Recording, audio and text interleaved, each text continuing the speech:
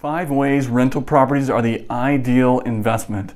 Hi, I'm Nate with Keyrenter, and today I'm going to be discussing the ideal acronyms with you. These five key benefits to rental properties.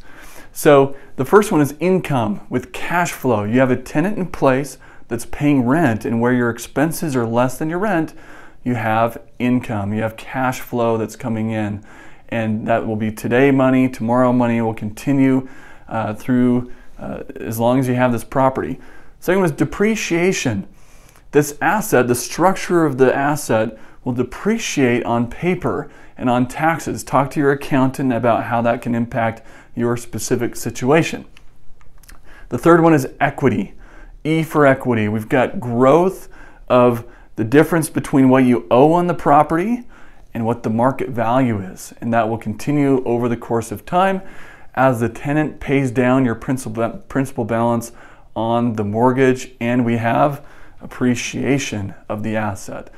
And so as that property appreciates, which uh, history has shown us that they do appreciate over time, even though there are periods of time where we've got some dips, but we hang on to that thing. We've consistently seen appreciation.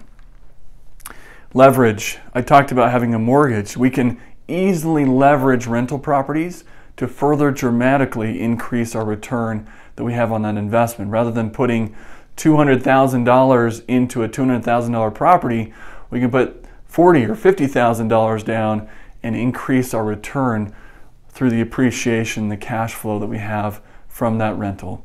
So I hope this is helpful for you. If you have any questions or you're interested in learning more, feel free to reach out to our team. We're more than happy to help you out. Thanks for watching.